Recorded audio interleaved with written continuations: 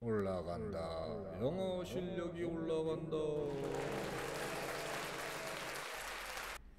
번개콩입니다. 2번 들어가겠습니다. 자, our awareness 하면은 인지. 자, 인지인데 of non-verbal communication 하면은 비언어적인 의사소통.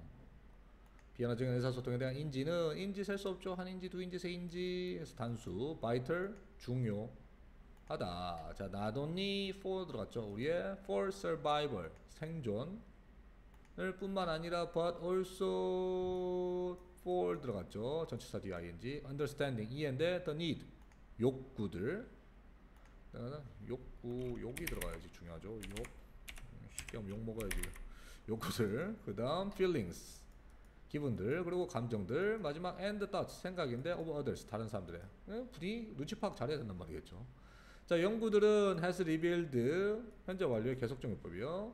밝혀왔다. 어, 자, that 접속사고 자, 메시지들 복수가 주어져. between individual까지 묶여요.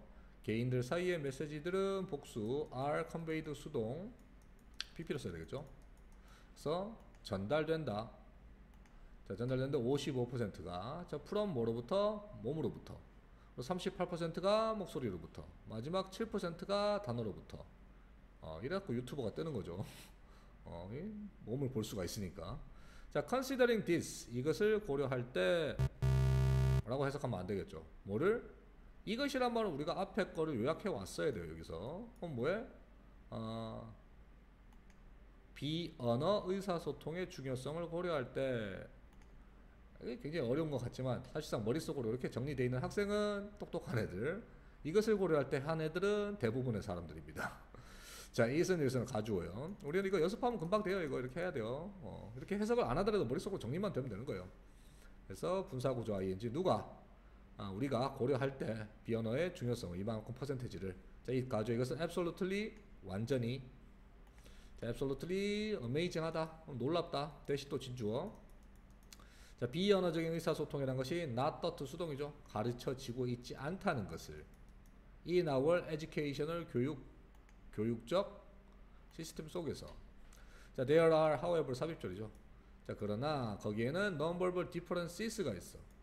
그러면은 비언어적인 차이 있는데 across는 에서는 전체 지역 전역이라는 뜻이죠. 전체 지역에는 문화들의 자, 대선 이 문화들은 may be 아마도 be 될 것인데 source 아, 그래서 they가 아, difference로 잡아야 되겠네요. 그래서 해석상 잘못 봤습니다. 자, 그래서 these 뭐 하는 것은 아까 나왔던 이러한 차이점들이라고 잡는 게 좋아요. 여기서는.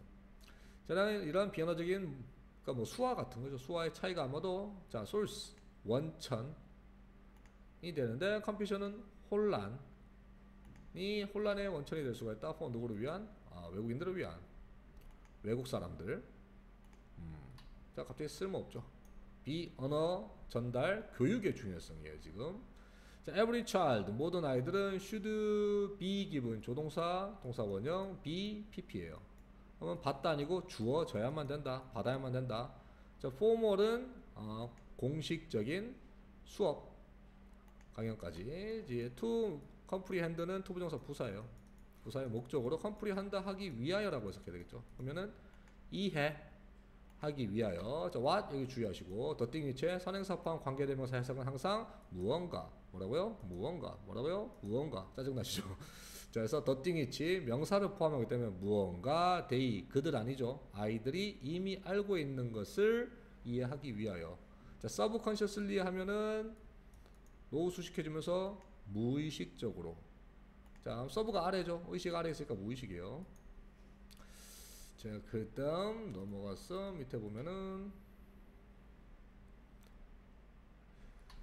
자, greater understanding of the non-verbal communication까지 까지가 understanding이 주어네요. 더 큰 이해는 비언어의 의사소통에 will 동사 원형 enhance 할 것이다. enhance는 강화 시킬 것인데 뭐를 더 quality 질을 우리의 삶들의 질을 또한 will 또 동사 원형 줄 것이다. 우리에게 뭐를 더 us, 그래서 간접목적어죠 방향 우리에게 뭘 줘? 능력을 줘. 자, 어떤 능력? 형용사용법이죠. to relate. 연관 짓는 능력을 자, to others 다른 사람에게 with greater degree 하면 더 큰 정도 함께 자 of understanding 이해 정도와 함께 of 전치사 뒤에 명사 그다음 sympathy는 아, 동정을 주고 동정은 돈을 주고 아니고 동정을 주라고 자 그다음 compassion 연민을 주면서 자 그래서 일단 뭐 끝내기 전에 짤 한번 보시고 여기에 관련된 얼마 전에 저도 봤는데 이거를 보고 만약에 하나도 감동이 안 왔다 하면 굉장히 메마른 사람이라고 생각하면 됩니다 일단 짤은